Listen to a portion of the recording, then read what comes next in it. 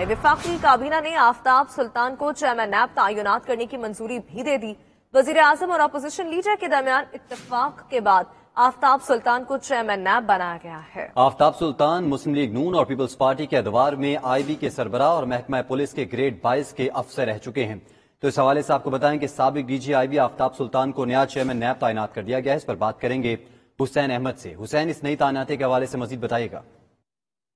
जी देखें, हुकूमत की जानब से जो है वो अहम फैसला किया गया है। वफाकी काबीना की जानब से सबक I B officer Aftab Sultan को चेयरमैन नैब जो है वो नामजद कर दिया गया है और ये इंटेलिजेंस ब्यूरो के सबक जो है वो डीजीपी जो है वो रह चुके हैं। आफ्ताब सुल्तान का ताल्लुक जो है वो पुलिस सर्विस पाकिस्तान से था और ग्रेड बाईस के अफसर थे और पुलिस में आला उहदों समेत आईबी के डायरेक्टर जनरल भी रह चुके हैं।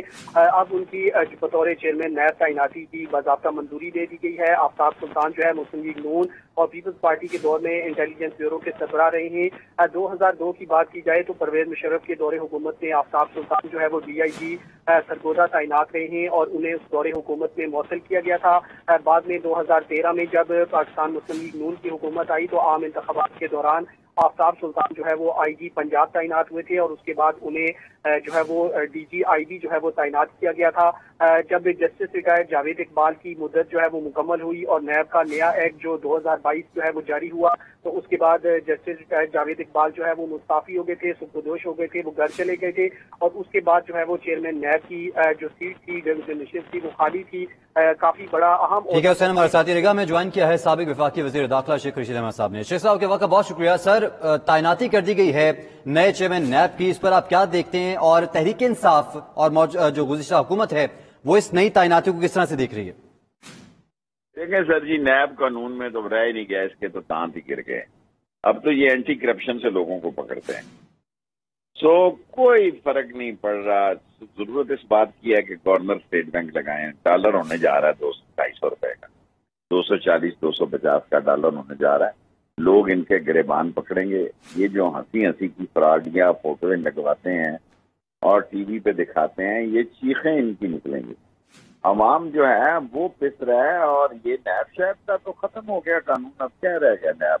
आप नैब कानून में देखें नैब तो ऐसे ही है किसी को खाम का उहदा दे के तो खुश करने वाली बात है। उसके दांत ही किस लेकिन शेख साहब मौजूदा हुकूमत फॉरन फंडिंग केस का बड़ा तस्करा करती है कि इस हवाले से जितनी जल्दी फैसला आ सके और इलेक्शन कमीशन से भी दरख्वास्त की थी शहबाज शरीफ साहब ने कि जल्द अज जल्द फैसला सुनाया जाए। सर लोग पढ़े तो सही ना फॉरन फंडिंग केस जो है उसमें ज़्यादा यही होगा ना कि फंड जब्त हो जाएगा। ये तो नहीं होगा कि इमरान खान नायर हो जाएगा। उनके पास ये तो कोई इख्तियार नहीं है ना। ज़्यादा ये होगा कि फंड जो है वो अगर फैसला होता है अभी का भी फॉरन फंडिंग आना है और पीपल्स पार्टी का भी आना कुछ नहीं होना। कल के इलेक्शन पे नज़र रखें, कल इलेक्शन बदलने जा रहा है और परवेज लाई चीफ मिनिस्टर बन गया तो हालात बेहतरी की तरफ़ से ठीक है सबरा अवामी मुस्लिम लीग शेख रशीद अहमद साहब 92 न्यूज़ को वक्त दे रहे थे। आपका बेहद शुक्रिया। इसी बीच में ज्वाइन किया है लेकिन साफ़ के रहनुमा फरूख हबीब साहब ने। फरूख साहब, बहुत शुक्रिया आपके वक्त का। कैसे देखते हैं आप इस तयनाती को? सबक डीजी आईबी आफ्ताब सुल्तान को नया चेयरमैन नैब तयनात कर दिया गया है। देखें ये ऐसा ही है कि नवाज़ शरीफ, शहबाज शरीफ को जो है वो डीजी नैब लगा दें। बेसिकली तो जो आफ्ताब सुल्तान है, ये सबका डीजी आई भी रहे हैं। और नवाज़ शरीफ के जो चंद करीबी जो लोग थे, उनके अंदर इनका शुमार होता था। अब मामला ये है कि पहले तो इन्होंने नैब तरामीम करके, अपनी मर्ज़ी की तरामीम से, पापड़ वाले को फलूदे वाले को, शहबाज शरीफ का साढ़े अरब का टीटी, साढ़े सात अरब का टीचियों का केस, मरियम का एवन फ़ील्ड का केस, नवाज़ शरीफ का केस, वो केसेस के ऊपर उनको फ़ायदा पहुँचाया। अब इन्होंने डीजी नैब भी जो है वो अपना मुकर कर दिया है। अब बैठ के मुझे आप बताएँ कि जिस मुल्क के अंदर इख्तियार हो और वहाँ अकाउंटेबिलिटी ना हो तो मामला कैसे आगे चलेगा? अब ये डीजी नैब जो है वो आगे क्या करेंगे? ये ऐसा ही है कि नैब को ताला लगा दिया गया है, नैब को बंद कर दिया गया है। इस किस्म की तैनातियाँ जो हैं, अगर ये करेंगे तो फिर हम तो हक बजाने में कि ये इम्पोर्टेड हुकूमत जो है वो सिर्फ़ इकतदार में आई अपने केसेस बंद करवाने के लिए थी, ना इनसे मैशियत संभाली जा रही है। डॉलर दो सौ तीस पे चला गया सोलह घंटे की लोड शेडिंग है महँगाई आसमानों से बातें कर रही है मजदूर बेरोजगार है गरीब आदमी के में फाके पड़ गए हैं दो वक्त की रोटी वो नहीं खा रहा गरीब का चूल्हा ठंडा पड़ा हुआ है।